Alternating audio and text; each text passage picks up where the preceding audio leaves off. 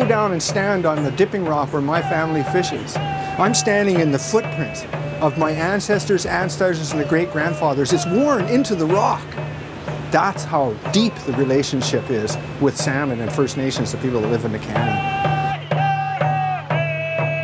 A hundred years ago, in 1913, there was a massive rock slide in the canyon wall right behind us that blocked uh, much of the salmon passage to, uh, to much of the Fraser River system.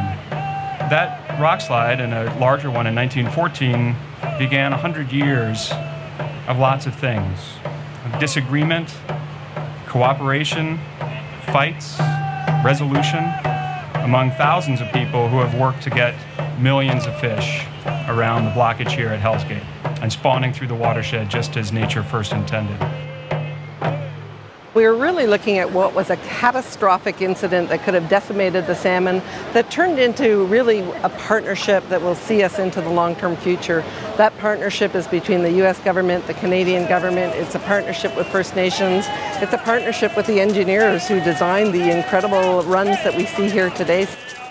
This is really the perfect opportunity to commemorate a century of cooperation between Canada and the United States and preserving and protecting this remarkable species of sockeye salmon.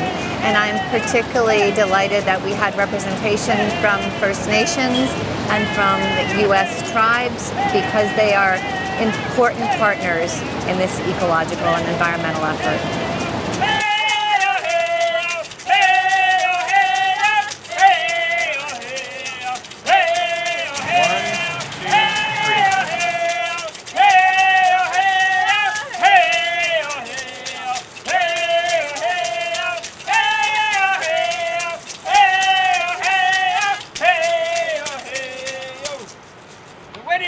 John.